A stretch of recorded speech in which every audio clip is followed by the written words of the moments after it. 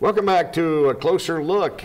I am talking with two women here from the Bristol YWCA, which is Kathy Waugh and Kathy Fegans.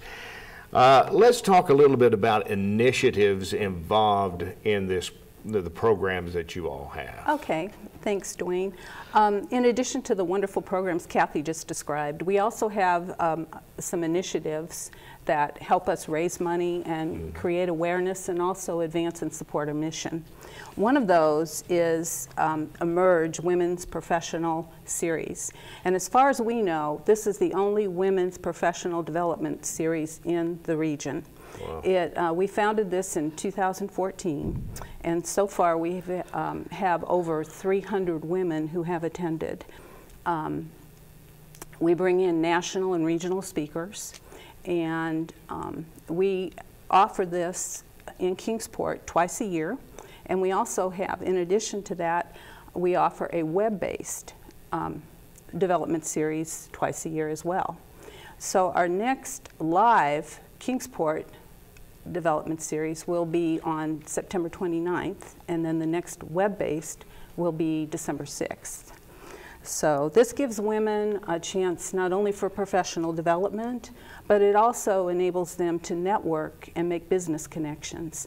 So um, we've gotten some tremendous positive feedback about the Emerge series. We also have another initiative called Tribute to Women. Um, the YWCA has always believed that outstanding women who have done outstanding things should be recognized. And we started Tribute to Women in 1992 to do just exactly that. And it also supports our mission, which is to eliminate racism and empower women. Uh, since 1992, we have actually honored 170 outstanding women with the tribute. And, That's uh, amazing. Uh, it yeah. is. To keep the program unbiased, we have the recipients judged by judges out of the region. So, right. um, and uh, applications for Tribute to Women are accepted up to uh, February 15th of each year. So. People need to get in on that. That's right. Absolutely. Absolutely. It's a wonderful program. and then the, uh, the third initiative that I'll mention is um, what we call listening circles. Mm -hmm. And due to the violence in our nation, um, we, we felt that there needed to be something that would provide a forum for people to come together in a safe environment to discuss the situation of race relations.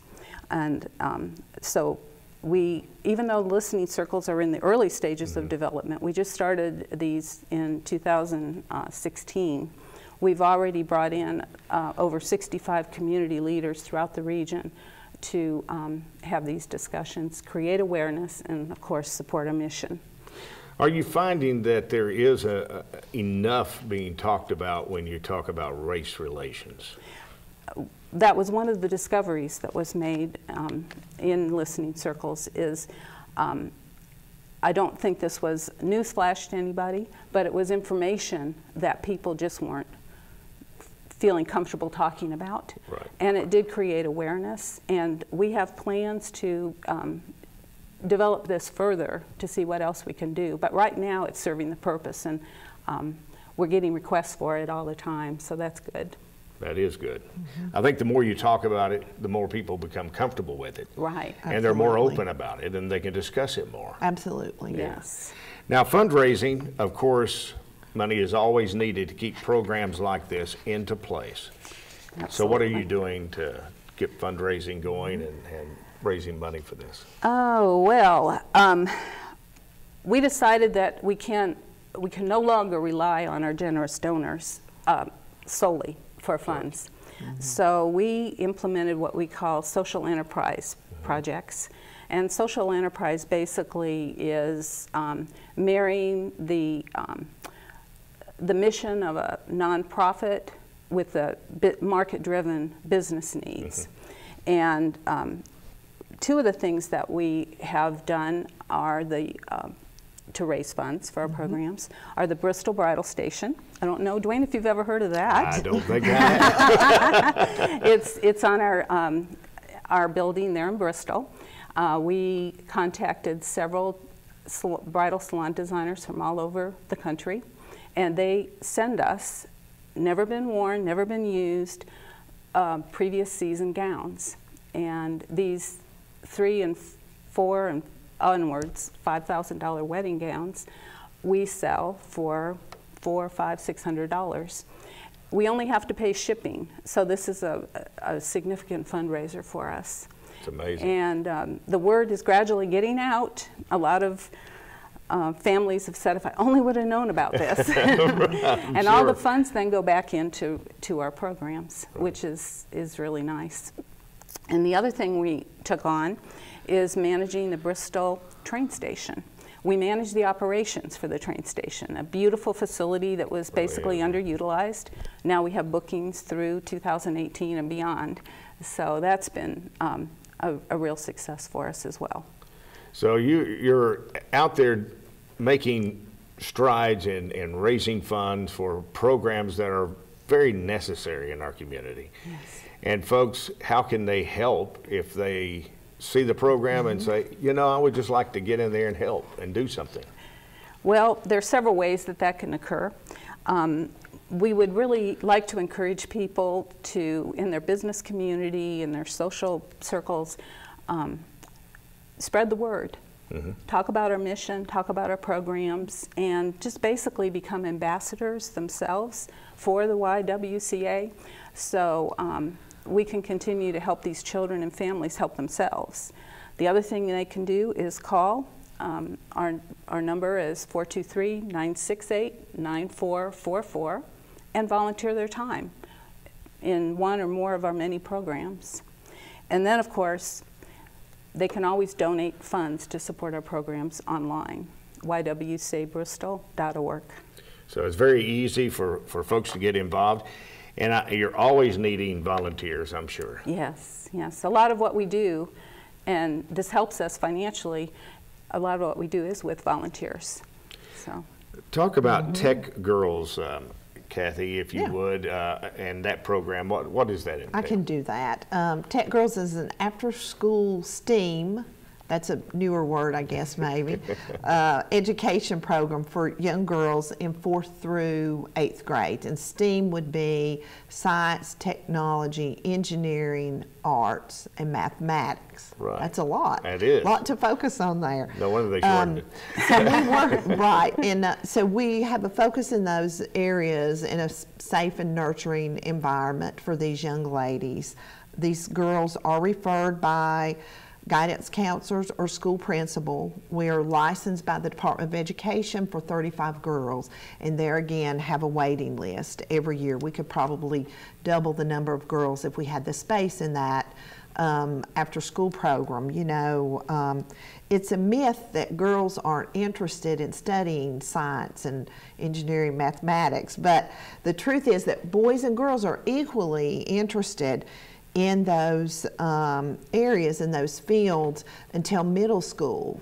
When, for whatever reason, girls start to lose their self confidence. So, this program intentionally goes through those middle school years so that we can keep girls encouraged in um, in those fields.